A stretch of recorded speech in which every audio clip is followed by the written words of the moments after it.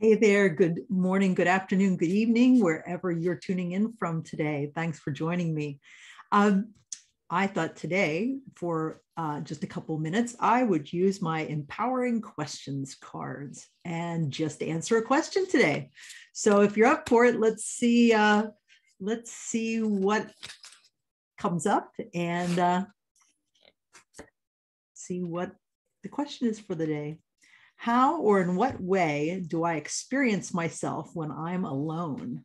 Ooh, interesting question.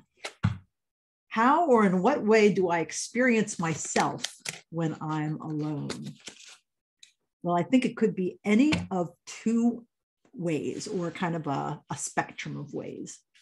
If I am not settled and if I am not centered, then I might be experiencing myself kind of as a, a bundle of anxiety, um, tangled up in thinking about what's what's next on my agenda. So, like if I'm in the shower in the morning, I can tell whether or not I'm centered or whether I'm not simply by where my mind is. Um, I might be thinking, if I find that I am kind of tangled up in what's coming up for my for me in in my day. I might be thinking about you know what's next on my agenda? What am i going to do first? Who am i going to see? What do i need to prepare?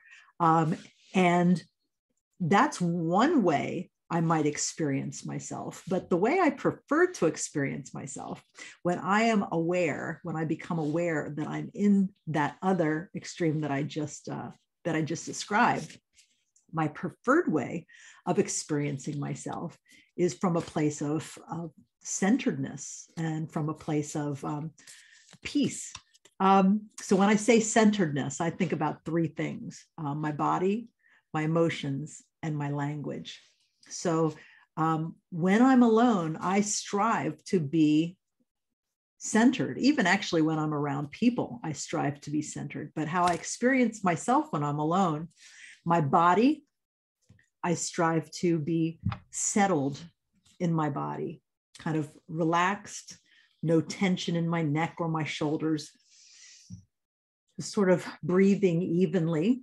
Um, my emotions are kind of neutral, where I'm not necessarily excited or sad. I'm just kind of here. And um, my language or my inner dialogue is silent. Um, I'm not speaking to myself and you know my judge brain or or uh, thinking words in my mind, but my actually my mind is silent. So how I how I experience myself when I'm alone, that's my preferred way of experiencing myself.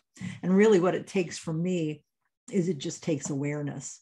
If I am a, if I am not aware that I'm not in my centered place, then I can't actually get to my centered, my place of centeredness. So I just have to notice when I'm alone, um, what I'm feeling, and and then take the steps to center myself, to center my body and relax my body, to create that neutral emotion and um, and the silent brain so yeah how do you experience yourself when you're alone and uh, do you like to experience yourself do you like how you are when you are alone or is there some other way that you would like to experience yourself it would be interesting to hear back from you see what see what uh, this brings up for you um, and how about if you comment below share a video or just share your story what do you experience